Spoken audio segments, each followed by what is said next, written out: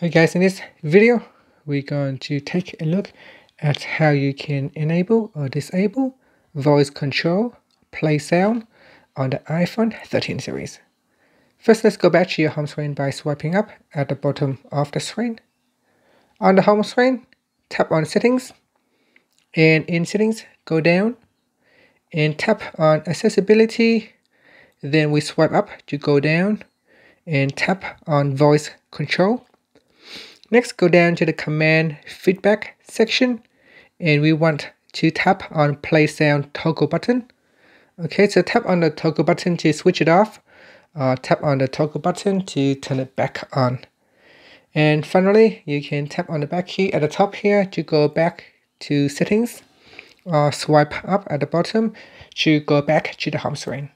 And that is it. Thank you for watching this video. Please subscribe to my channel for more videos.